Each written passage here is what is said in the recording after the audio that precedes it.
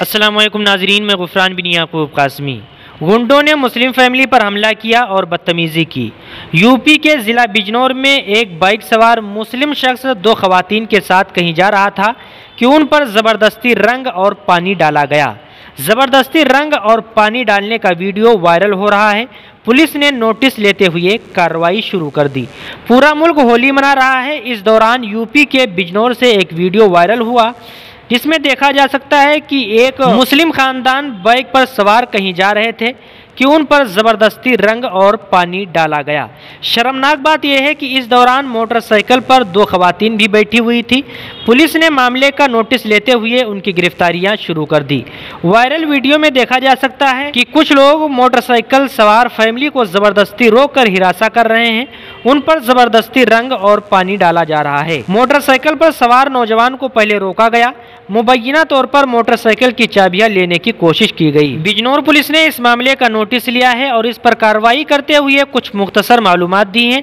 बताया है कि आज 24 मार्च 2024 समाजी मुख्तलिफ़ मीडिया प्लेटफार्म पर एक वीडियो वायरल हो गया, जिसमें देखा जा सकता है कि कुछ लोगों ने मोटरसाइकिल सवार एक फैमिली को रोका और उन पर ज़बरदस्ती रंग डाल दिया। इस सिलसिले में उनकी तरफ़ से थाना धामपुर में शिकायत दी गई। तेईस मार्च 2024 को जब वो अपने अहल खाना के साथ दवाई लेने डॉक्टर की दुकान पर जा रहा था तो उनके करीब चार पाँच नामालूम लड़कों ने उनकी मोटरसाइकिल को रोककर हमला कर दिया।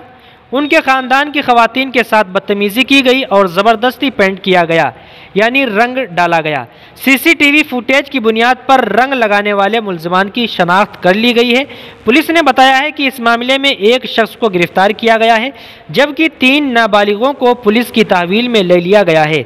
इंतज़ामिया की जानब से अपील की गई है कि होली के त्यौहार पर किसी पर ज़बरदस्ती रंग ना लगाएँ, किसी को जानबूझकर तंग ना किया जाए। बसूरत दीगर मुनासिब कार्रवाई की जा सकती है। नाजीन अगर ये गुंडे आपके साथ भी इस तरह की गंदी और नापाक हरकत करें, यानी आपके ऊपर रंग डालें, आपको ज़बरदस्ती इस तरह से करें तो आप भी अपने करीबी थाने में एफ़ आई आर दर्ज करें और इनके खिलाफ कानूनी कार्रवाई का मुतालबा करें।